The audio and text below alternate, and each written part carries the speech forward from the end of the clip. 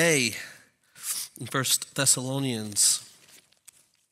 We've been studying it for quite some time now. So if you've hated that sermon bumper, it's over. It's finally over. I want to just bring a couple things to your attention before we get into the word. One is last week we started our elder cohort here at Provision Church and that's really just I don't I don't know. I don't love the word cohort, but I love the idea of getting men together and working together, to grow so that we might meet the qualifications of what the Bible calls for the church to have as elders, but also that um, we would grow in Christ. That's the main thing, is that we would grow in Christ. And so we pitched that idea out a few months ago and had guys basically sign up or, or be a, say, hey, I'm going to be a part of that. And last week uh, we had over 20 guys in there. And I just, I, I, I have derived a lot of encouragement from that uh, just to know that we're a part of a church that has men who are seeking to grow in Christ and want to serve the church well. So I hope that you are encouraged by that. And that will continue. That's a, a long process, a months long process. So we're, we're really excited to continue that. I also just want to bring to your attention uh, our college students are on spring break this week. The, at least our Wingate college students are on spring break this week. And so we're, we're missing them today. We'll miss them next week.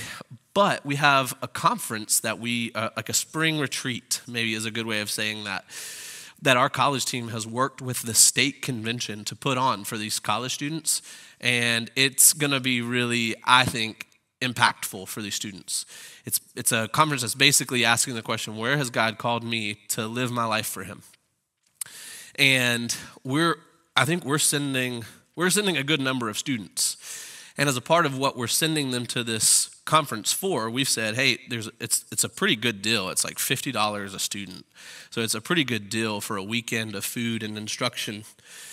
But we've had a really good turnout, and we've said, look, we don't want money to be in the way for you. We want you to come no matter what. So we've offered scholarships, and we don't, we didn't really have like a scholarship fund, but we just said, well, scholarship if you want to go. So I think we've got um, about $500 worth of need of scholarships right now. And so, what I would, I'm just going to make this ask.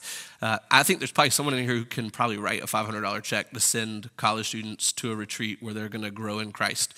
So, maybe not. Maybe that's not me. Like, you could send one student. I'm not sure what your situation is. What, what I'd like to ask you if you're, hey, I would love to scholarship someone, maybe just come talk to me after the service and just say, hey, I'm interested in that. Maybe I can write one check for everybody, or maybe I can write one check for one person. We'd be really grateful. We really believe that God's working at Wingate right now, and we really I think, uh, are looking forward to this conference as a moment to create unity in that group and then also send them back to campus and send them from campus back home or to wherever God has them going next on mission for Him.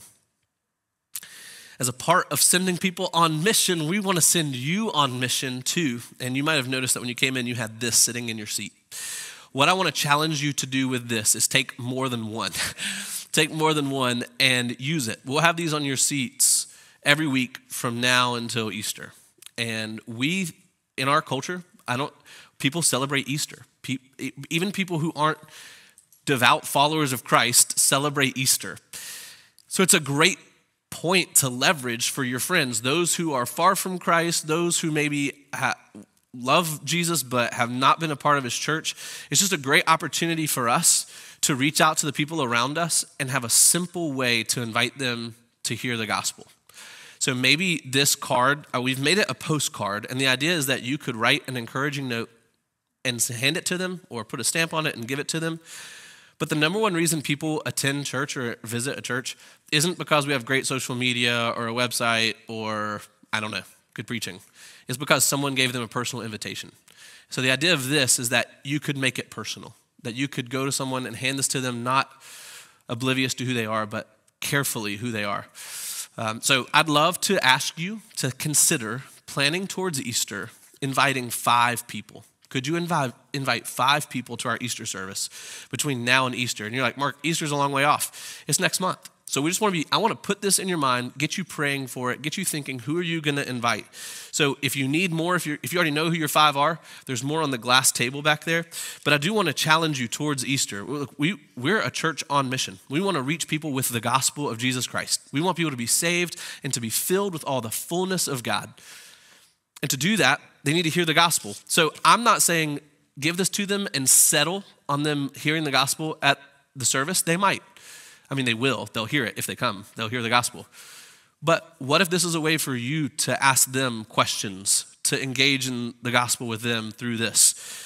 So I, I want to challenge you with that. But I also want to challenge you on Easter to make plans to be here. Make plans to be here. Make this make Easter an important part of your calendar. I think about at Easter, we're celebrating with family. Maybe for no reason or one reason or another, you're going to visit with someone else. What if you ask them to come visit you here? What if you say, hey, come, come do Easter with me at Provision? So I'm asking you to invite five people. I'm asking you to make plans to be here, make sacrificial plans to be here. And I'm going to ask you this too join a serve team. On Easter, we do hope to have uh, an abnormally large number of people here. So we're going to need an abnormally large number on our serve teams.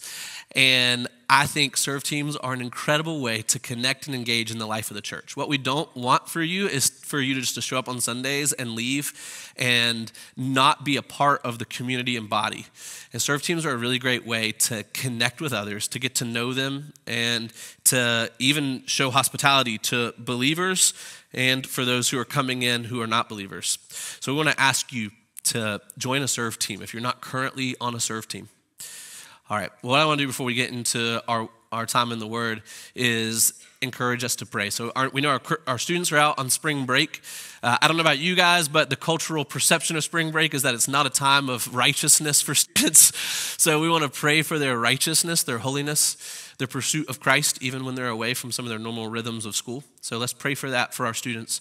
We have our team that's planting in Elon. They're in Elon this weekend, meeting and pre- prepping. So let's pray for them there. And then let's pray for Easter. Let's pray that God would give us, we put a prayer prompt on uh, your worship guide, on your note taking guide. Let's pray that God would give us confidence to invite others to know Him. All right, let's, let's pray for those things. Would you pray with me? Father, we thank you for the opportunity to worship you together, that we get to be your people, that we're not random to you, that we're not uh, small or insignificant to you, but we are precious to you as your people, as your church, as your bride. Help us today as we come to your word, to come to your word with an open mind, a heart that is ready to be challenged by your word, that we wouldn't just be hearers of the word, but that we would be doers of the word. Now, we know that uh, some of the students that are not here today, who we love and are thankful for, God, I pray that as they go home or go uh, on trips this week, even some who are still on campus, I pray that you protect them, that you guard their minds, that you keep them uh, from their own evil desires and from the temptations from the enemy. God, we ask for our team who's in Elon as they prepare to plant there and make disciples in Alamance County. God, I pray that you bless them, give them great unity and joy as they are together.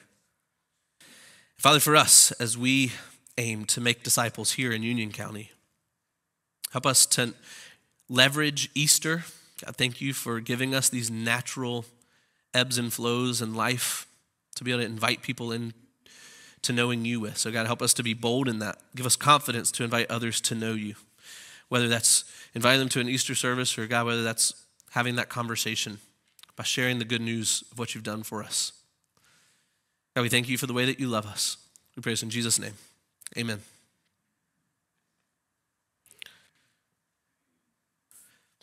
When we look at a passage together, like as we've done in First Thessalonians, my goal is to ask what is the main idea of that passage? Every week we have this kind of main idea thing on our note taking guide. And the goal of that main idea is what is the main idea of the passage? How can we draw that down into a memorable takeaway from what this passage is saying? So we take the main idea of that passage and then we make that the main idea as we study that passage. So here's the main idea today God completes what he starts. God completes what he starts. God completes what he starts, and that's a great comfort to us in light of our salvation. More specifically, that's a great comfort to us when we think about our sanctification and glorification. If God has called you, he will keep you. If God has called you, then sanctification, he's going to grow you. He's going to help you be more like him and grow in Christ's likeness. and glorification, he is going to take you to be with him. Let's look at the text. 1 Thessalonians chapter 5 verse 23 and 24. Let's read that together. Now may the God of peace himself sanctify you completely, and may your whole spirit and soul and body be kept blameless at the coming of our Lord Jesus Christ. He who calls you is faithful. He will surely do it. Paul sets the example for us here in having certainty in Christ. Do you see that? The certainty in Christ. We're at the very end of this letter that was written to the Thessalonians, this church who Paul obviously felt a lot of. We see Paul, Silas, and Timothy writing this letter to them. He, he loves them and he's instructing them about the second coming of Jesus. That's a big part of this letter. You see a reference to the coming of the Lord throughout almost every chapter of this letter. And then he also writes them to encourage them in their faith. That's a huge part of this. So, encouraging them in their faith, instructing them about the second coming of Jesus. And at the very end, he's hitting these key concepts once again. And in verses 23 and 24, he's both teaching them and really praying for them. He's asking God on their behalf. He asks the God of peace to sanctify them. See that in verse 23? Now may the God of peace himself sanctify you completely when we think of the God of peace. That's an interesting way for him to be referenced here. But it's a common description of God in the New Testament, a reminder of his work that God brings peace. He's the only one who can bring true peace. He may first bring the sword, but even the true work of that sword is to bring peace in the end. That's what Jesus did. Jesus even took the violence on himself, the sword on himself, so that he could make peace with us. As sinful people, we're each one sinful. As sinful people, our biggest need is peace with God. Our biggest need is peace with God. It's not morality or a perfect Bible reading plan, it's peace with God. And there's only one way to know God as the God of peace, to have peace of, with God, and that's through the life, death, and resurrection of Jesus Christ. He is the only one, He is the only way. So when we reject Christ, when we reject Christ, we are at war against Him. I know that can sound like hyperbole. Mark, you're just trying to make something sound bigger than it is. I don't think I can make this sound big enough. I think this is an understatement of our position towards God as we reject Him and follow our own ways. As we say, God, your way is not good enough. I'd rather do it mine. When we reject Him, we are at war against Him. But when we turn from our sin and surrender to God, then we have peace with Him. And it's the kind of peace in which He invites us to His table. It's not the kind of peace where it's like when you see each other in Walmart, you just don't make eye contact.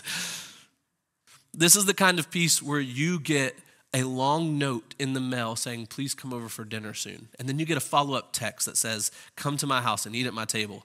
And then when you're at their house, it's a time of fellowship and sweetness that I love being with you. He invites us to his table, he invites us to be with him in his presence, in his throne room. We get to sit with him and relish his glory. I think about even the idea of being in his throne room, that we get to go to the throne of grace before God. I think about the story of Esther, where when she went to the king to approach him, him, she could have been killed for approaching him at all.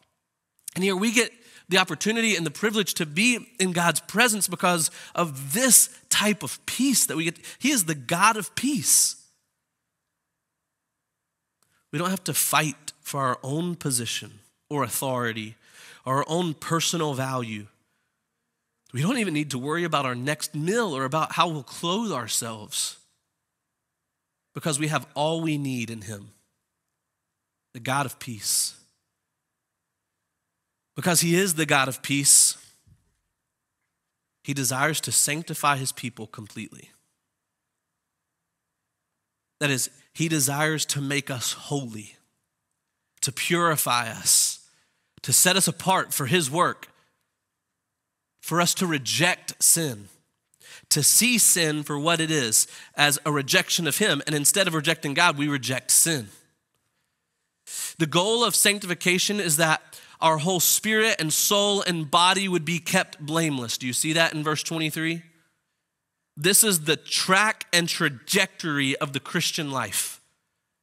Growing in Christ's likeness in every part of us spirit, soul, and body. Not that we have all these separate parts, but it's all of us. Our desire as we love God with all of our heart, soul, mind, with all of our heart, soul, mind, and strength, right? That all of us mentality, as we love Him with all that we have, our desires that we would that He would grow us in His righteousness, that He would make us completely blameless. We share this hope. We share this goal, really, that Christ would grow us in blamelessness, that He would keep us blameless. And why? Right? Why does it matter? Like, why you said, Mark, you just said we share this hope, but I've never really thought about being blameless as I've followed after Christ. Or I've thought a lot more about how good I'm doing at these things, or I've thought a lot about more about am I pleasing these right people, but I've not thought a lot about my blamelessness. But here you're saying that we share a goal with God of our blamelessness. Why does it matter? It matters because sin separates us from God. It draws our eyes off of Him and distracts us from His beauty. When we make room for sin, we in, when we embrace sin instead of turning from it, it becomes nearly impossible for us to enjoy deep, abiding fellowship with God. That opportunity to sit in his throne room when we sin is us walking out of the throne room because we say, That throne's not good enough. I'd rather sit at another throne. In this life, sin robs us of our greatest joy, our greatest source of joy, of our great comfort and our great peace. Sin robs us of those things, it takes it away. Sin, in fact, offers those things. Sin offers comfort and joy and peace. Sin calls out as if it has those things to offer truly. Look at Proverbs 9. If you have your Bibles, flip over to Proverbs chapter 9. Proverbs chapter 9, and we'll, we'll be in verse 13. Sin mimics what is true, but can't provide what is true. In Proverbs chapter 9, here we get this instruction. I think this is a great way to understand sinfulness to understand sin, as we pursue blamelessness, as we pursue to not live in sin, look at this description of sin. Proverbs chapter 9, verse 13. The woman named Folly is brash. She is ignorant and doesn't know it. I'm, I'm actually reading this from the NLT because I, I really love the way the NLT talks through this. But as your translation, the woman named Folly is brash. She is ignorant and doesn't know it. She sits in her doorway on the heights overlooking the city. She calls out to men going by who are minding their own business. Come in with me, she urges the simple. To those who lack good judgment, she says, Stolen water is refreshing. Food eaten in secret tastes the best. Do you see what she's offering? This refreshment and this tasting of what is good. She's offering these things. Verse 18, but little do they know, those walking by hearing her call, little do they know that the dead are there her guests are in the depths of the grave. Sin offers refreshment, sin offers joy and comfort and peace. But the more we accept the call of sin and give in to sin in our life, the more we are headed to the depths of the grave. Sin makes these promises, but in the end, sin leads to death. They are false promises with a real consequence. Not so with Christ. The call of Christ is much different than this. In Mark 8:34, Jesus calls this way. This is what Mark 8:34 says. And calling the crowd to him with his disciples, he said to them, If anyone would come after me, let him deny himself, take up his cross, and follow me. This is the way that is blameless. That we take up our cross and follow after him, deny ourselves and follow after him. The way of the blameless is not easy. It's not always fun, but it is with Jesus. Do you see that call there? Come after me, be with me. That is the great goal of our salvation. The great treasure of our, our salvation is Jesus. It's Jesus alone. That's who we want in our salvation. That's why we come to Christ is for Jesus. So many people embrace a version of Christianity because of what they want to get out of it, whether that's affection from a spouse, a reunion with a loved one who, who's passed away, a deliverance from something bad in their life, freedom for guilt for something bad they've done. And honestly, in that, there are some great benefits of what come with following Christ. But those are nothing in comparison to the true gift of having Jesus, to get to be with Him, to know Him. That's what in our hearts that we might elevate and glorify Jesus above every other desire. That He might be the one thing, He would be our one thing But we don't achieve blamelessness. When you look at what's written here in 1 Thessalonians, God's word to us in chapter 5, verse 23, it's not ours to achieve this blamelessness. God provides it. That's Paul's prayer. May he sanctify you and keep you. May the God of peace do this for you. Do you see that? It's not, may you work hard enough, may you not do enough bad things. It's, may the God of peace do this. We are so dependent on God. There's a, that's the lesson there. We are so dependent on God that in our work alone, we will never meet the requirements. May this God, may the God of peace sanctify you and keep you. We are in great need of God's grace. Without it, we cannot be blameless.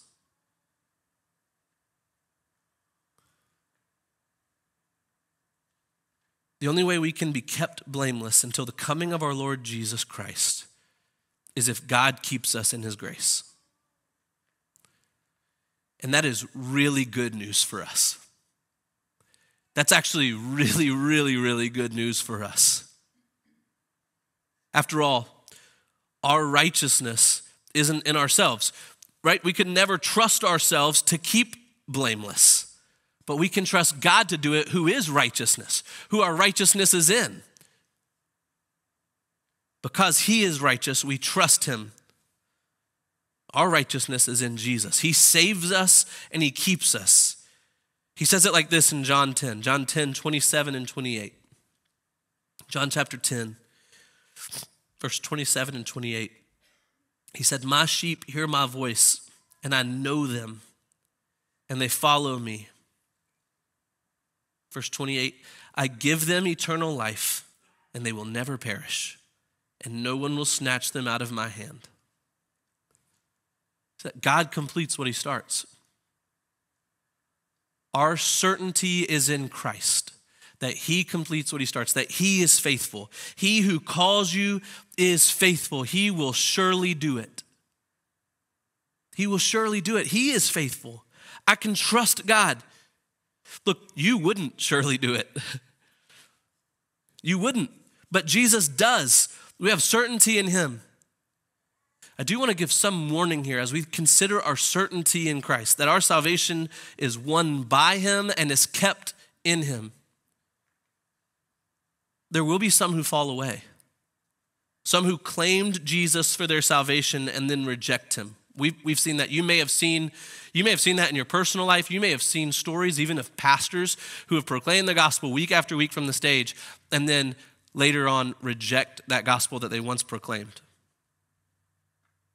Some who claim Jesus for their salvation and then reject him.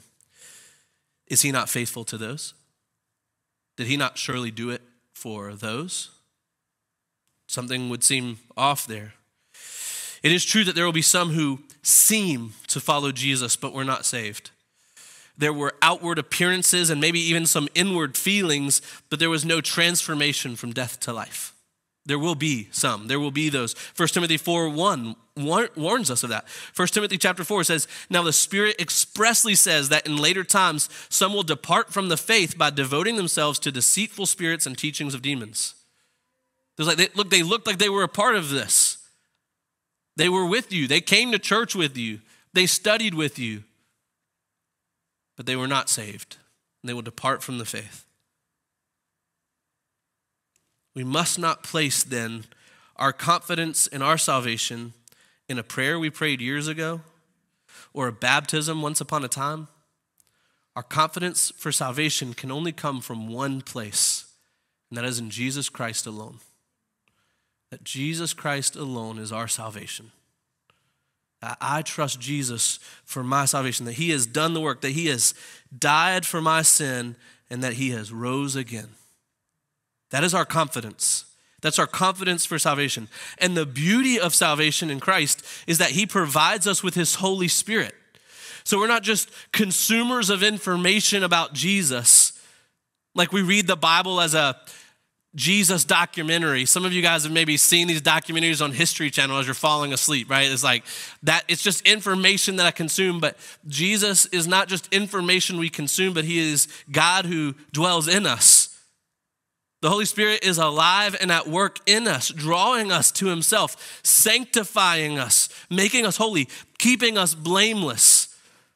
Our confidence for salvation is in Christ, and our evidence continues in the work of the Holy Spirit in our lives.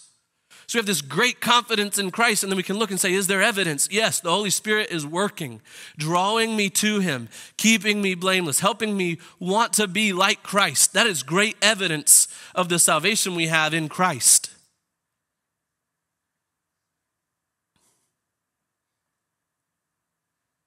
God completes what He starts. And He doesn't just do that in one of us or in isolation, He does it for His people. He does it for the church. Paul finishes this letter with a few brief but really authoritative instructions to his brothers and sisters in Christ. So let's look at these very quickly. Verse 25, 1 Thessalonians chapter 5, verse 25. He just said, Look, may God keep you, may He grow you. He is faithful, He will do it. And he kind of really switches to this ending here. He says, Brothers, pray for us. He uses here, depending on your translation, really the word there, brothers, is, is fine for brothers and sisters. So he's talking to this congregation. He's using this family language that he's used all throughout First Thessalonians as a picture of love and dedication to each other. He's saying, Brothers, pray for us. It's a, it's a help for us to see that Paul wanted prayer too that the, this apostle, these great disciples of Christ, these who were making disciples and moving and planting churches, that they didn't feel confident in themselves, but they also depended on Christ for their strength. Brothers, pray for us. We should be glad to have others praying for us. Sometimes we can feel intimidated by offering the, the, the need. Hey, I need prayer here. But as brothers and sisters in Christ, that's a way we get to serve each other. We follow Paul's example and say, Brothers and sisters, pray for us. Because we're dependent. We recognize our dependent, dependence, and we do. We gladly do. We pray for each other.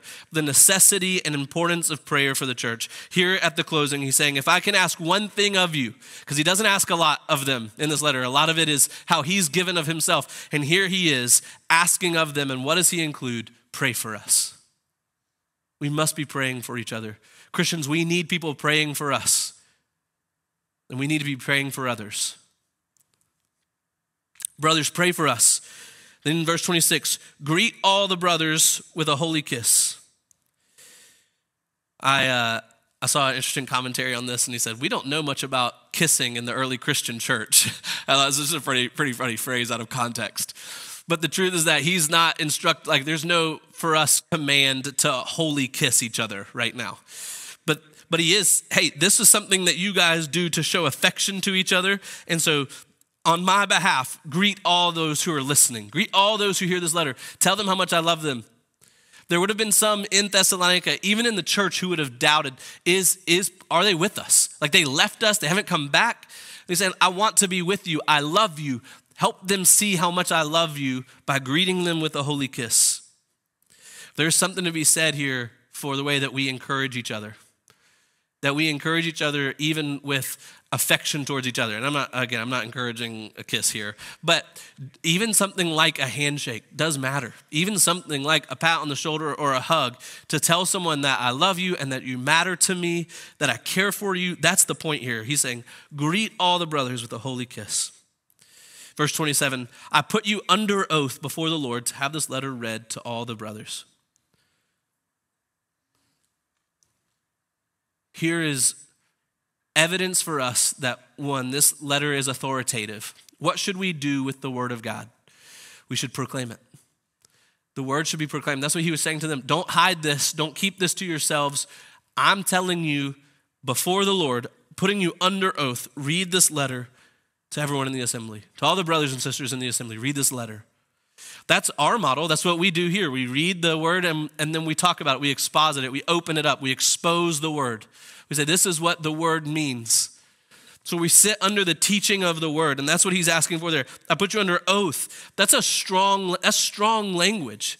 In his in his ending of this letter, he could have been really sweet and gentle, but instead he's very authoritative. I put you under oath. Don't not do this. Make sure you read this letter to them because this is the word of God for you.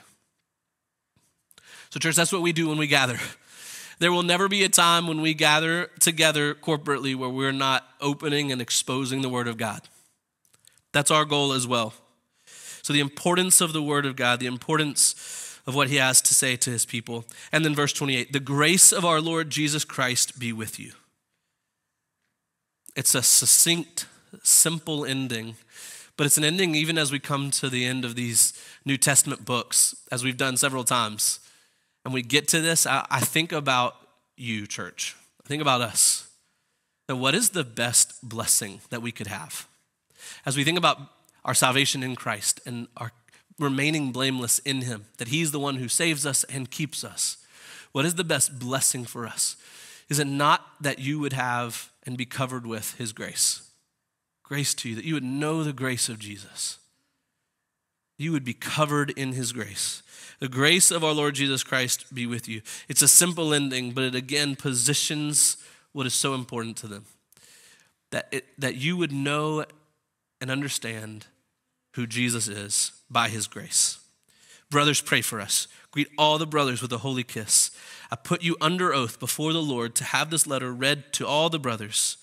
The grace of our Lord Jesus Christ be with you.